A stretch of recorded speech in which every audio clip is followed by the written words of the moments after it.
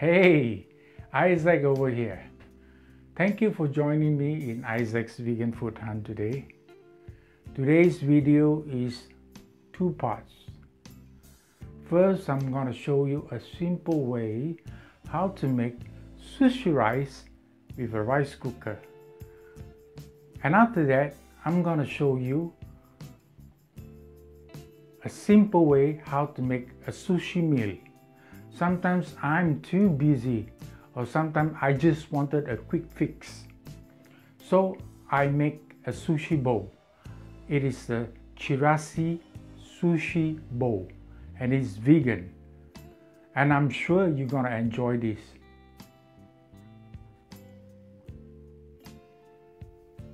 Right, now this is my ingredient for my sushi rice.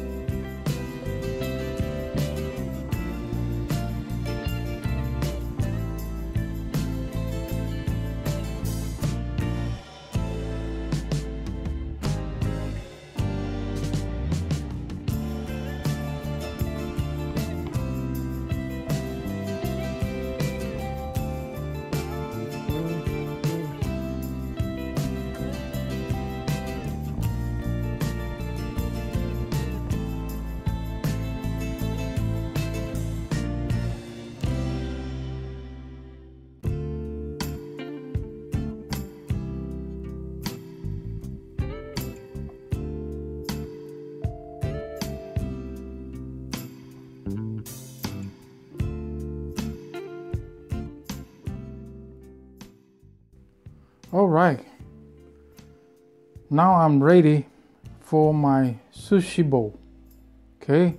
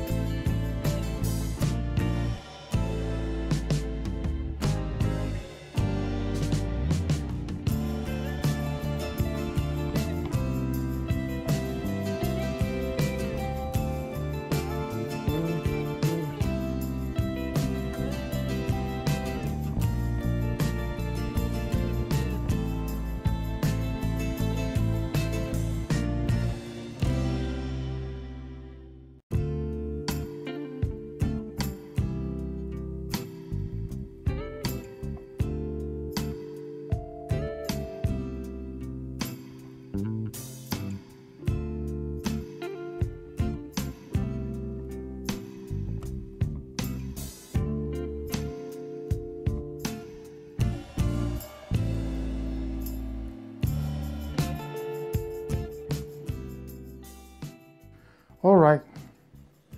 Now we have our vegan chirashi sushi served with some soya sauce and uh, this uh, wasabi